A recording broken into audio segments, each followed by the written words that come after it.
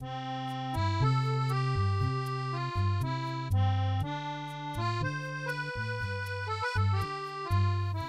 everybody, Bob Babbitt here. Breakfast with Bob from beautiful Nice, France. Oh, we are brought to you by VeloFix Polar. UCAN active premium plus sports travel. We're at the Hotel West, and our next guest, 2016 Olympian, Mr. Ben Kanute. How about a round of applause for Mr. Kanute? Uh, thank you. Look at that. We got a studio audience. I like it. Getting them involved. So, Benny, when I look at your career, uh, people know you're an Olympian, but really, where you really became uh, connected with the, the longer distance folks was when everybody became a Kanutian watching you in Chattanooga, 70.3 Worlds, two years ago, go off the front. And it took a, what, a 110 half marathon from uh, Javier Gomez to catch you that day?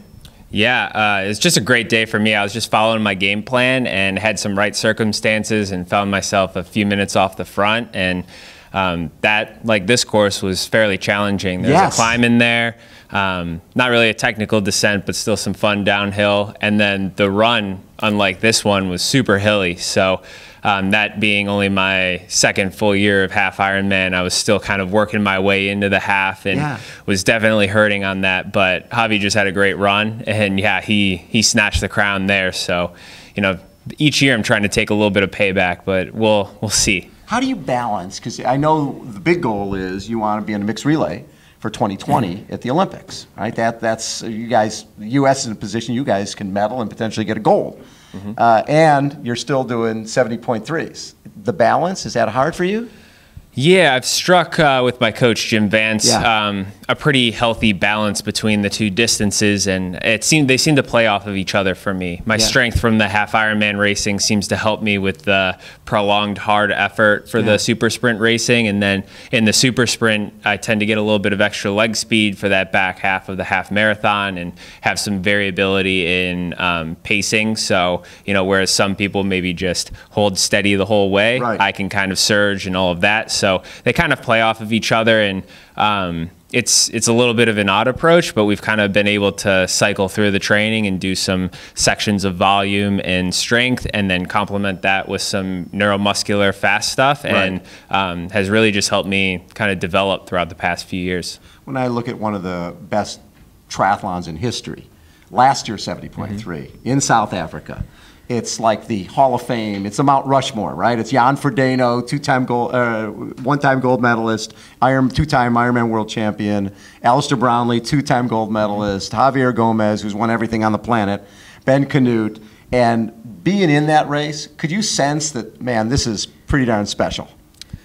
Yeah, for sure. But I mean, at, at the end of the day, like I'm racing these guys and we're all on the same playing field here. Yeah. So I can't look into too much about who's got this gold medal or that gold medal. Um, because they, I mean, for me, they all have targets on their backs, and uh, hopefully the roles reverse, and then I'm the one who has the target on their back, and they're chasing me. Yeah.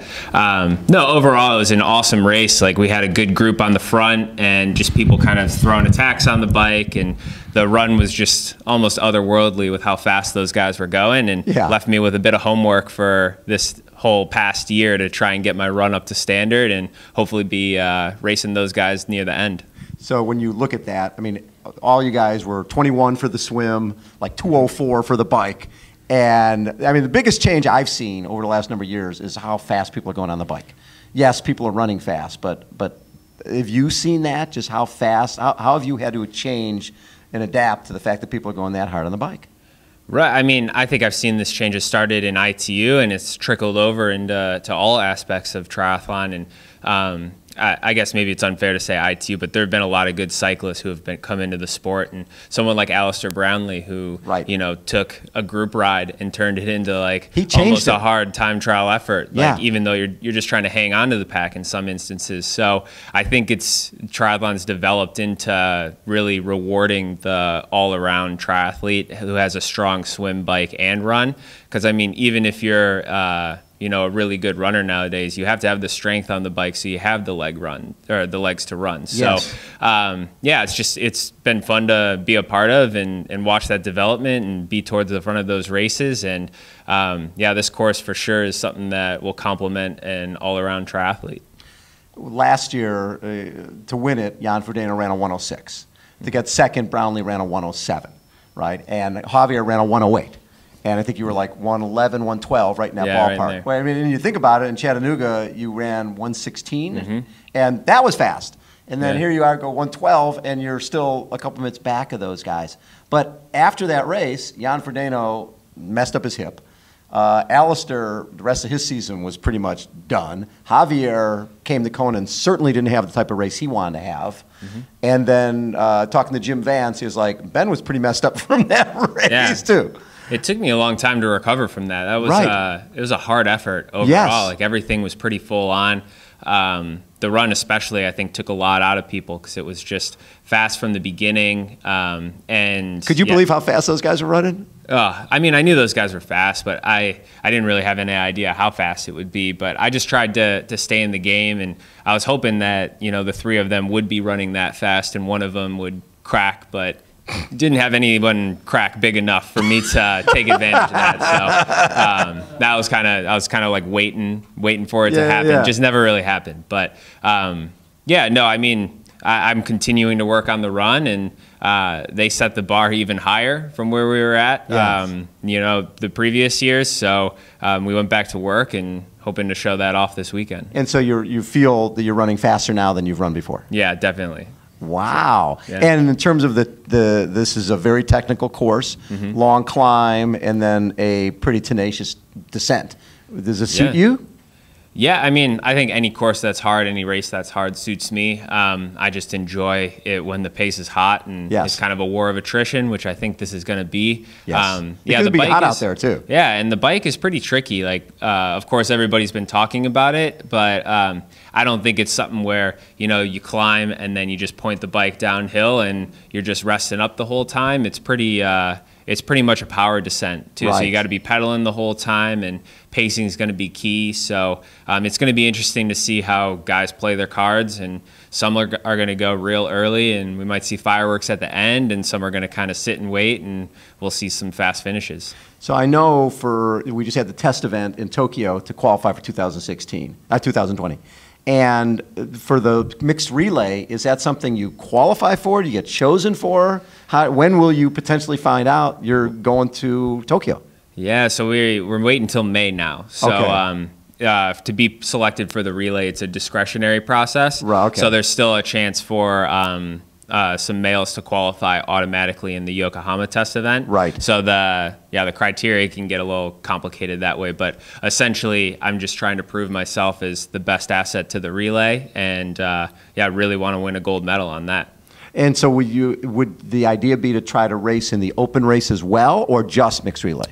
Uh, so the way it works is uh, with triathlon, they didn't allocate any extra people spots. So you have they to be there as yeah, part of a You have to be there. So if you're racing the individual, you can race the relay and vice Right. versa. But you only get two to three total triathletes per gender. So there's no, you know, just having. Some teams might have just solely relay people, Yes. and you might see some people if they're not anymore in the in the medal contender Mm-hmm. category for racing they might save themselves a bit for the relay Right. because at the end of the day you know a few days later everybody's going to be racing for more medals so it'll be interesting to see the type of strategies that people use to to race the relay For people who have not seen the mixed relay, I don't think there's anything that's been developed that's more fun and so great for TV.